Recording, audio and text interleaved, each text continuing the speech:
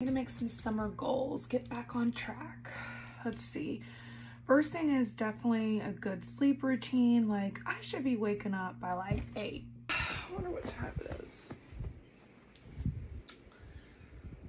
Oh, sh and I want to drink greens before I drink my coffee for sure. Coffee in my cup, coffee in my cup. Starting my day with coffee in my cup. just need to like get some things done around the house. Just get those mini projects done. My goodness. I mean, it is gorgeous outside.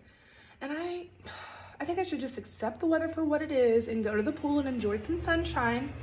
And then I can hang the shelf and I'm totally working out five days a week. Hey teacher Bessie, I just got back from the pool. What are you doing?